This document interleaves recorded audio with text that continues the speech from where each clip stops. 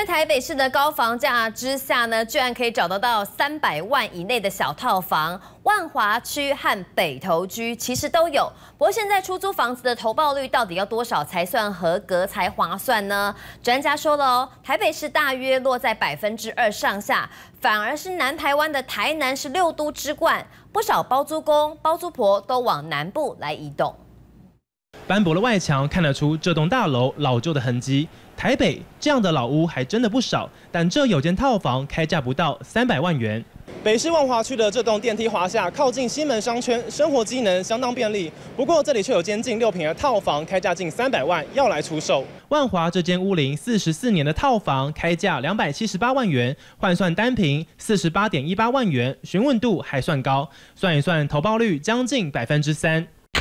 另外，这间将近十平大的空间里头摆了床，还有厨房琉璃台，地点在北投地热谷附近，开价两百八十万元，单平只要二十八点五万多，投报率将近百分之四到百分之五，也吸引不少人来看房。它价钱是没有天低的，只是它的总价是比较低的。这两间物件它比较特殊的就是说，它都是一个比较多年的一个社区大楼，所以它还有未来的可看性，是说它可能会有都更的可能性。北市的投报率的话，房租大概是二点五趴。不过买下这种小套房出租，百分之二到百分之五的投报率算高吗？有十几年出租房子经验的刘小姐说，同样在意 location。买房子如果是用投资的角度来看的话，就是我们会比较注重投报率。多半来讲，大概就是比如说临捷运站啊、学校啊，那像这些都是我们比较容易选择的。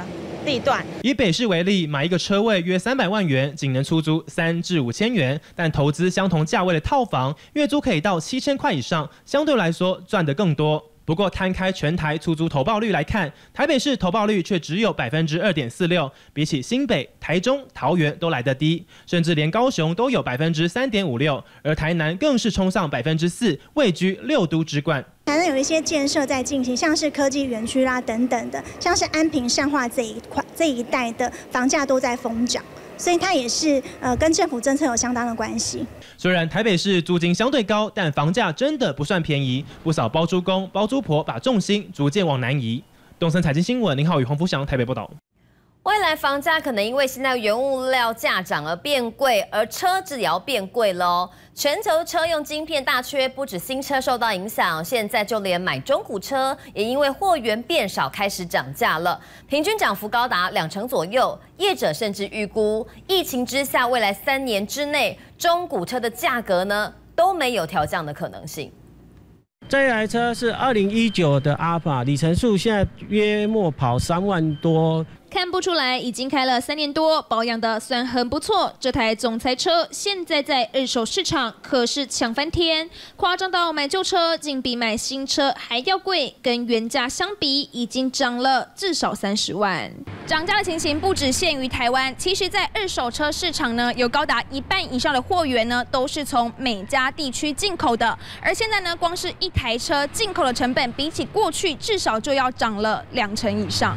全球大闹晶片荒，垫高二手车市场行情。不过这波涨幅，一般国产代步车没有影响，主要涨价的多以双 B 和美规进口车为主。等于是说，你买了两万块美金的车，跨了年会折了十趴或二十趴，现在反而不折，又。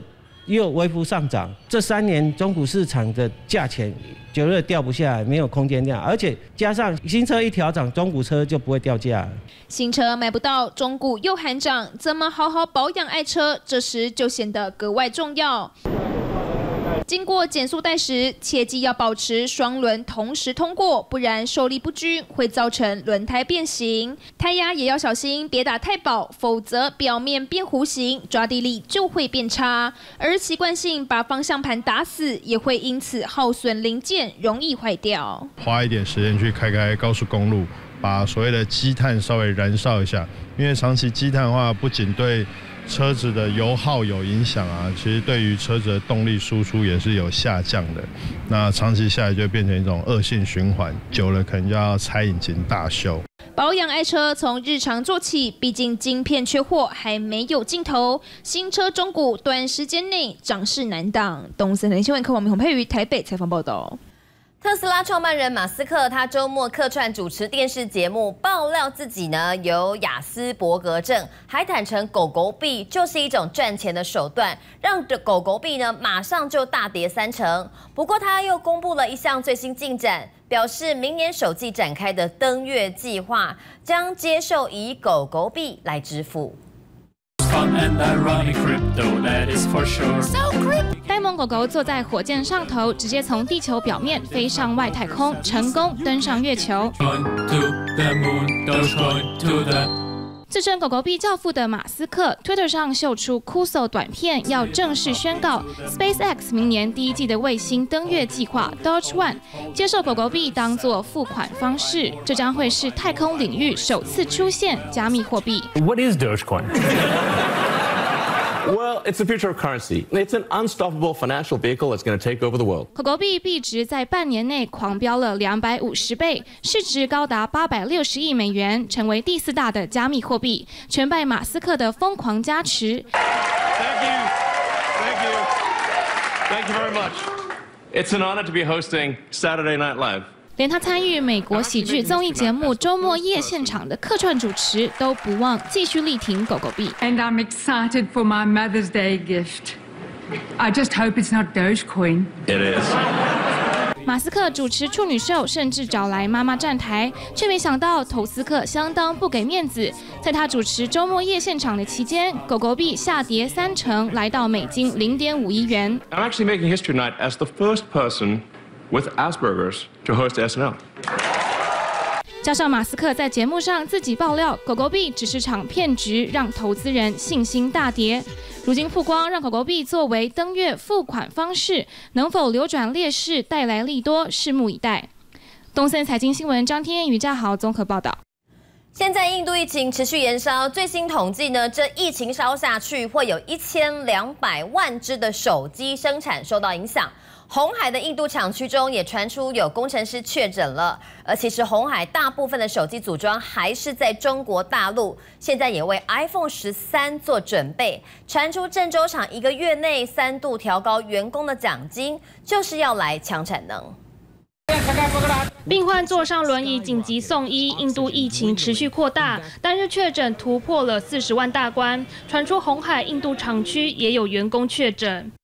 红海位在印度坦米尔纳都省的青奈厂传出有十名中国大陆的工程师确诊，对此红海也回应，目前除了安排员工就医外，更全面消毒厂区，但依旧会维持营运状态。不过青奈厂是生产 iPhone 的厂区，外界也担心是否会影响到苹果产能。不是一个主要集中的基地，再加上已经有相关的经验，所以它的整个一个代偿运转的机制，我相信是会比较流畅的。如果它有部分的零组件缺件呢，是有可能导致它整个上市时间往后移，但是这是本来就已经发生，而不是因为红海印度厂的一个单一事件所造成的。iPhone 十三的上市时间可能会推迟，但在中国大陆的厂区却已经提前备战。